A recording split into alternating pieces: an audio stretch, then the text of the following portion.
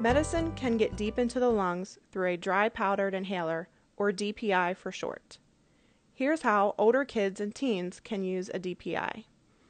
Unlike other inhalers, which deliver a puff of medicine, these inhalers hold the medicine as a dry powder. Since the medicine sits inside as a powder, you have to breathe in fast and deep to get the medicine into the lungs.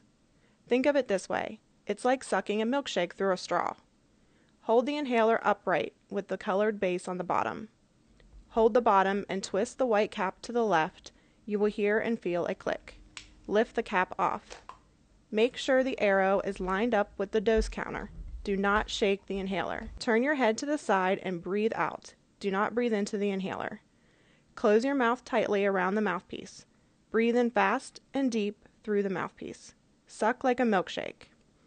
After you breathe the medicine in, Hold your breath for a count of 10, then slowly breathe out.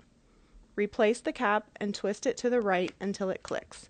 The cap must be closed to load the next dose. You may not feel or taste the medicine. Rinse your mouth out with water or brush your teeth after using dry powdered inhalers. Wipe the mouthpiece with a dry cloth after each use. Always keep the dry powdered inhaler dry and never take it apart. Remember, if you have questions, call your doctor's office, asthma care team, or pharmacy.